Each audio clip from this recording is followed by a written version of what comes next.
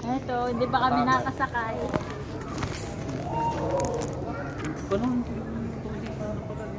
Na.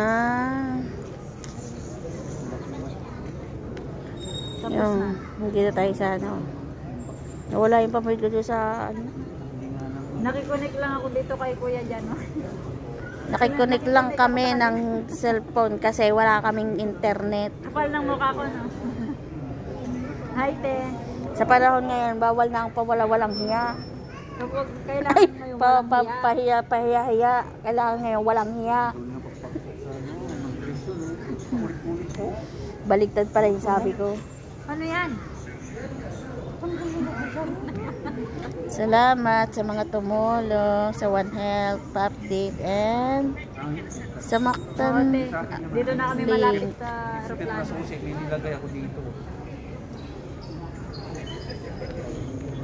Hey! What's up?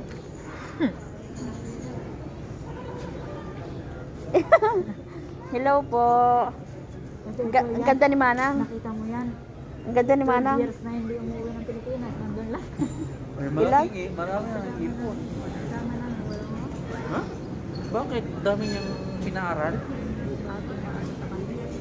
Ay, ay, pag lahat naman ng mga sasakyan mo siguro, pag Oh, sige na, te. Bye.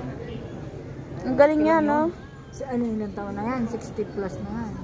Mukha pang bata, ano? Sige na, Juliet. Yung tsura ng buhok natin. Oh, diba? Kapatid ko, kasama ko din doon. Mo, may kami kasama ka.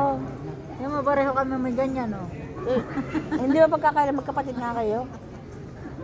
Kapatid ko. Yung. Yun Yeah. sinabi mo, 12 years. Hindi. Si Manang. Matanda.